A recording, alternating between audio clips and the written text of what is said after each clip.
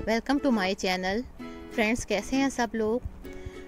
आज की वीडियो में मैं आपके साथ एक चारकोल मास्क की वीडियो शेयर करूँगी। ये है ब्लैक चारकोल मास्क। ये पील ऑफ़ मास्क है। लगाने के बाद इसको आसानी से आप उतार सकते हैं। ये डीप क्लींजर है। जो डर्ट पार्टिकल्स होते हैं, वो भी आपके चेहरे से रिमूव कर देते हैं। ब्लैक हेड्स भी रिमूव कर देता है। ये एक अच्छा मास्क है। इसके इस्तेमाल के बाद आपको रिज़ल्ट साफ़ नज़र आते हैं। ये इस तरह क्रीमी फॉर्म में होता है ट्यूब की सूरत में।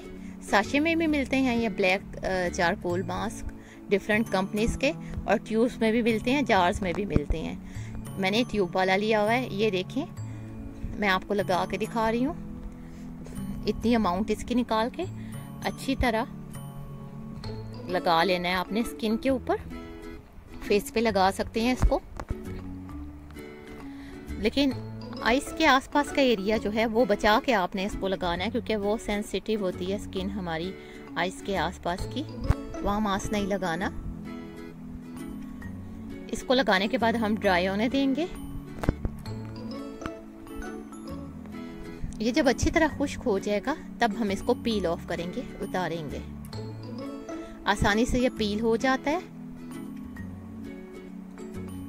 ये देखें, ये तकरीबन खुश्क हो चुका है।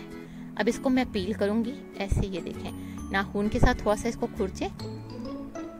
ये देखें इजीली उतर गया। ये देखें। जो भी डेड पार्टिकल्स होते हैं, वो इससे रिमूव हो जाते हैं और फिशल हेयर इससे रिमूव नहीं होते, इसलिए ये सेव है, आप इसे लगा सकते हैं फेस के ऊपर।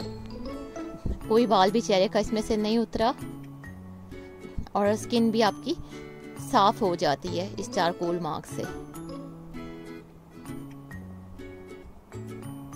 Thanks for watching my video